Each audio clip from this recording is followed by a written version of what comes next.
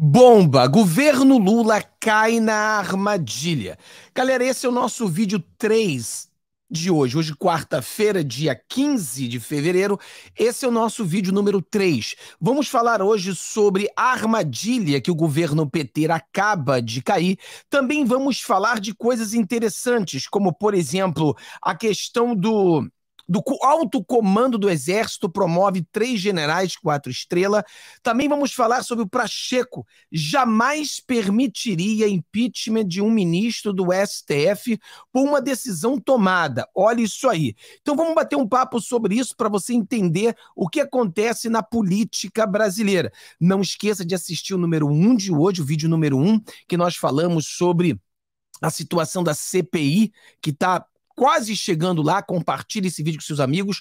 O número, o vídeo 2, que também hoje foi muito importante mesmo, porque falamos de coisas que a gente precisa abrir os nossos olhos, né? Porque estão querendo botar uma armadilha contra o presidente Bolsonaro, né? E foram pegos na mentira. E agora o vídeo 3, que também é importantíssimo, que vamos falar sobre duas coisas que realmente estão aqui, que é o, né, o Pacheco que disse que não abre impeachment contra, por exemplo, Alexandre de Moraes, e no caso o Lula, que cai numa tremenda de uma armadilha. Então vamos começar aqui hoje, não esqueça de dar o joinha, compartilhe com seus amigos, dá o seu joinha, inscreva-se no canal, já está chegando aí nossos 260 mil inscritos, graças a você. Também, se você tiver condições, torne-se membro do nosso canal. Nós temos uma live de membro toda semana. Então é importante que você esteja junto com nós, sendo membro do nosso canal,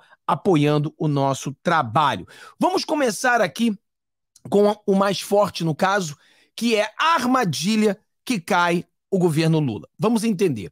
Nós dividimos o nosso pela, pela geopolítica, nós dividimos o Brasil em três grupos. Nós temos a direita de verdade, direita raiz, os conservadores, libertários clássicos, etc. Nós temos a esquerda raiz, né, que são os, os, os comunistas, que é o Lula. Lembra que o Maduro falou que ele ligou para o Lula para que eles se unissem num bloco comunista? É, seria o Maduro, seria a Argentina, seria Cuba, seria a Coreia do Norte, seria o irmão Xi, o irmão Putin quer dizer, o grupo dos comunistas, e nós temos claramente os globalistas. Né? Você tem o presidente Biden, Macron, o presidente. É, da, né, você vê toda a Europa, o Canadá, você vê o. Tudo isso é o que a gente chama de globalismo. E você vê, por exemplo, que no Brasil nós temos os tucanos, que são globalistas, nós temos o Lira globalista, o Pacheco globalista, o STF também apoio ao globalista, nós temos a mídia, o mercado financeiro, tudo isso é globalista. Então o que acontece? Quando o Lula foi eleito, colocado ali pelos globalistas, e ali colocaram, no caso, o Alckmin como uma segurança para que o Lula não viesse é, desrespeitá-lo e poder levar uma rasteira, muitas pessoas acreditam que o Lula não termina o seu mandato. Você acredita que o Lula termina o mandato? Sim ou não? Vai no comentário, diz pra gente o que você acredita. O Lula termina o mandato ou o Lula não termina o mandato? Fala pra gente aí. Então o que acontece? o Lula começou a se aproximar ao comunismo. Né? O Lula se negou a mandar a munição para a Ucrânia, o Lula se negou a dizer que a Rússia é o culpado pela invasão, ele botou ali que a culpa também era da Ucrânia, ou seja, o Lula começou a bo botar a mão no comunismo, entrar de cabeça no comunismo. Automaticamente, o chefe do Lula, um dos chefes do Lula, o Biden, mandou o Lula vir para os Estados Unidos que eu preciso te dar um puxão de orelha. O Lula, o cachorrinho, a cadelinha bêbada, veio para os Estados Unidos levar um puxão de orelha do Biden. O Biden deu-lhe um puxão de orelha, explicou para ele que ele tem que obedecer os globalistas e se não obedecer os globalistas, que possivelmente ele vai, vai levar uma rasteira, né? Basicamente isso. Então o que acontece? O Lula ele caiu numa armadilha porque ele não ele, ele, é, ele, é, ele é comunista, mas ele está sendo forçado a obedecer o globalismo. O globalismo sabe que o Lula quer ir para o bloco comunista. O globalismo sabe disso. Então os globalistas estão batendo de frente para convencê-lo. E a posição do Lula na geopolítica é bem, bem confusa, porque ele vai tentar viver do molde a sobra, ele vai tentar dar uma do João sem braço, vai tentar agradar os dois deuses ao mesmo tempo. Só que ele, sem querer, querendo, está caindo numa armadilha. Porque a intenção da Europa, a intenção dos globalistas, não é proteger o Brasil, não é preservar o Brasil. Nós sabemos disso. Existem intenções de, de riquezas que existem na Amazônia. Não é? Ninguém está preocupado com a folha verde, pessoal. Infelizmente. Essa é a grande verdade. Então a Europa tem interesses financeiros, interesses políticos, e eles estão colocando tudo isso na cara do Lula. E o Lula tem que tomar uma decisão. Ou ele aceita o que os globalistas estão dizendo, ou ele vai ter que bater de frente com o globalismo. E ele tem medo de cair. Por isso mesmo que você vê o Lula dizendo sempre que foi golpe que aconteceu com a Dilma. Ele tem percebido que ele vai acabar levando um golpe também, suposto golpe de impeachment, entendeu? Essa é a jogada que está acontecendo.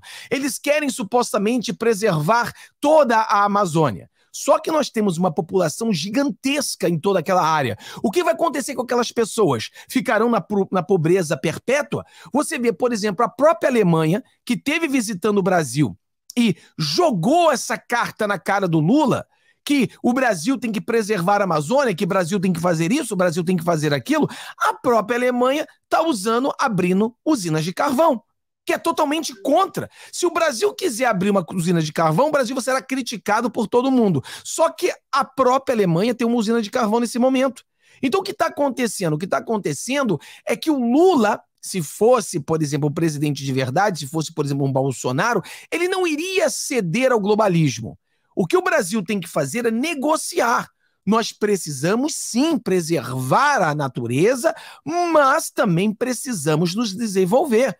O Brasil não pode ficar no passado. O Brasil não pode ser um país que simplesmente, como sempre foi visto, celeiro do mundo. Mas com Lula no poder, o Brasil volta a ser um celeiro do mundo, volta a perder toda a insignificância global, perde todo o poder da geopolítica e ele vai ficar sendo um pau mandado no Brasil.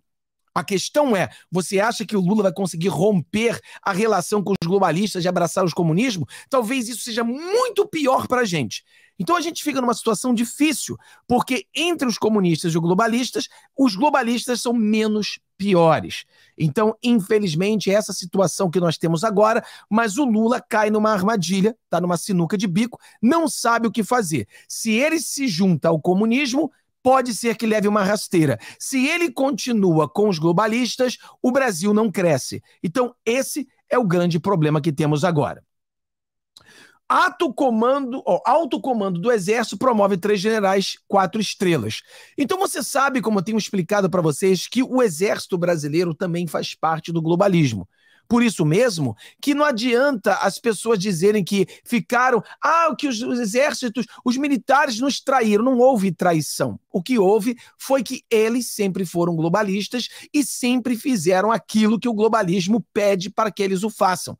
Eles simplesmente seguiram a narrativa que eles sempre iriam seguir. E trocando agora os generais não muda nada você troca seis por meia dúzia. Continuam sendo globalistas e vão sim participar. Agora, o que é bom no exército, nós podemos dizer, porque o Lula como um comunista e às vezes pensando em para a ala comunista, ele tenta é, é, colocar o exército contra o povo e o povo contra o exército, porque ele sabe que o exército é globalista. Mas o exército precisa do apoio do povo também. E nós, conservadores, não temos opção se não apoiar o exército. O exército, ainda que seja globalista, tem que ter o nosso apoio. É tipo, por exemplo, apoiar o Kim Catacoquinho se ele abrir um impeachment contra o Alexandre de Moraes. É tipo apoiar o Moro se ele abrir é, um impeachment contra o, Lula. Tem, temos que apoiá-los, ainda que a gente não concorde com tudo que eles façam.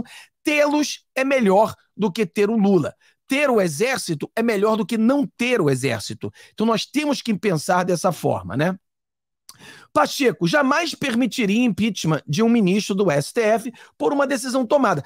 Pessoal, eu já expliquei milhares de vezes no meu canal. Se você nos assiste, domingo é nossa live do Checkmate às 4 horas da tarde. É uma coisa que a gente realmente estuda e coloca muito é, é, conhecimento ali naquela live. E naquela live a gente explica para você claramente por que, que o Pacheco nunca abriria um impeachment do Alexandre de Moraes. Ele também é globalista. O Lira é globalista, ele é globalista. O Alexandre de Moraes também é globalista. Todos eles pensam da mesma forma. Então isso aqui não é surpresa para ninguém que o Lira não abrirá o impeachment contra nenhum juiz. Então a nossa expectativa de que um juiz venha a ser impeachmentado, ela não existe hoje. Ela não existe. Porque quem manda no Brasil hoje, queira você ou não, são os globalistas. Eles estão com todo o poder, eles estão com toda essa força e eles, infelizmente, não farão aquilo que nós conservadores gostaríamos que acontecesse.